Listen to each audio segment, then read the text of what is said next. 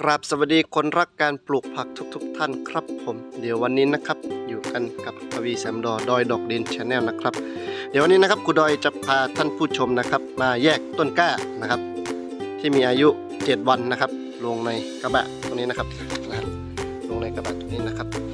เดี๋ยวเราจะมาติดตามรับชมรับฟังไปด้วยกันนะครับ ว่าเรามีขั้นตอนในการแยกกล้าลงกระบะเราจะทำอะไรกันบ้างนะครับ ไปกันเลยครับผม ครับก็สำหรับขั้นตอนต่อไปนะครับจะเป็นขั้นตอนการเตรียมดินสำหรับ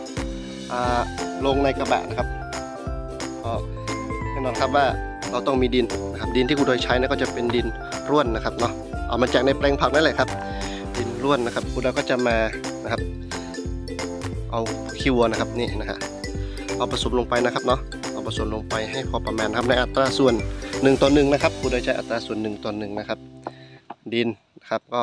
ปุ๋ยขี้วัวนะครับ ใส่ลงไปในอัตราส่วน1ต่อ1นะครับ ใส่ลงไปแบบนี้นะครับโอเคนะครับพอประมาณนะครับเนาะ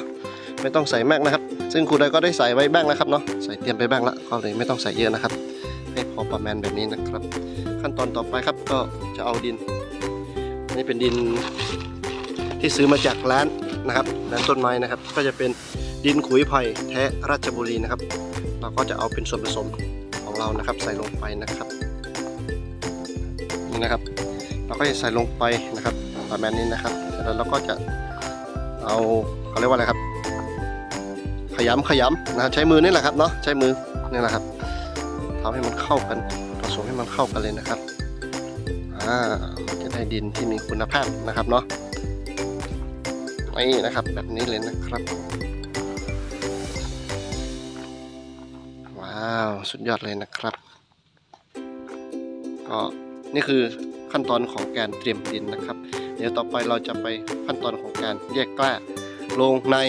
กระบะกันเลยนะครับผมนะครับ หลังจากที่เราเตรียมดินเสร็จเรียบร้อยแล้วนะครับ เราก็ต้องมาเตรียมกระบะครับผม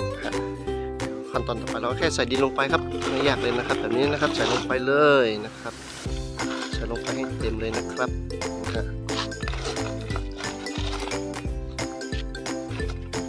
ง่ายๆแบบนี้เลยนะครับเนาะเราก็เตรียมกันนะครับ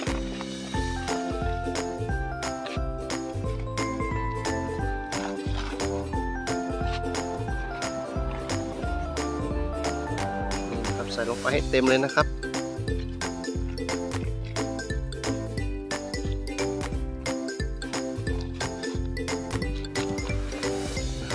นี่นะครับนี่นะครับ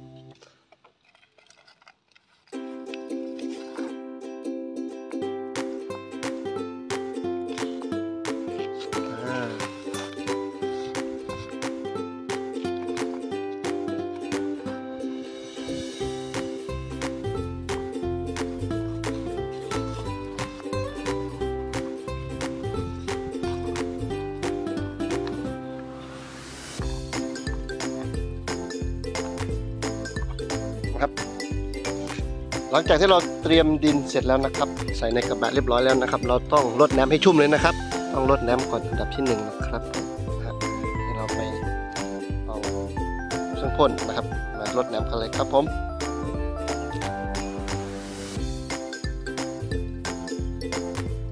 ครับหลังจากนั้นนะครับเราก็ใช้นะครับ เครื่องพ่นนะครับนะฮะพรมน้ำให้ชุ่มเลยนะครับนี่ใส่ลงไปให้ชุ่มเลยนะครับ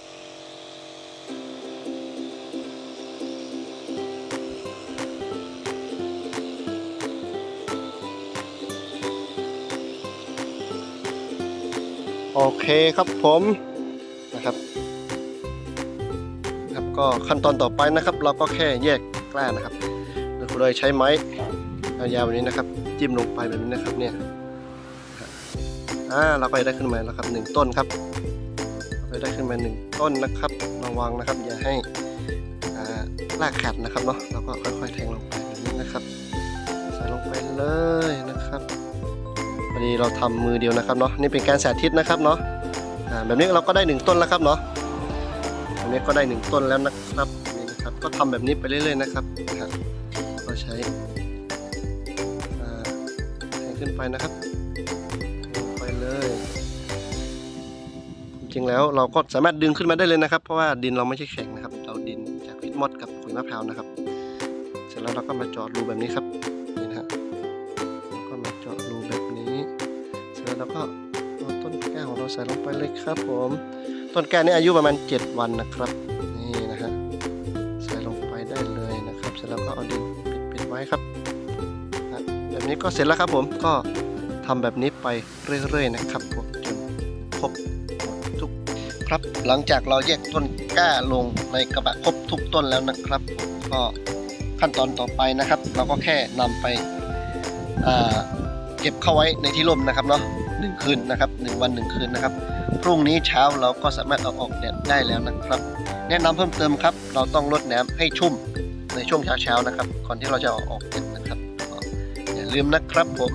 คลิปนี้ก็เอาไว้แค่นี้กันก่อนนะครับ เอาไว้เจอกันคลิปหน้าครับ ผมสวัสดีครับ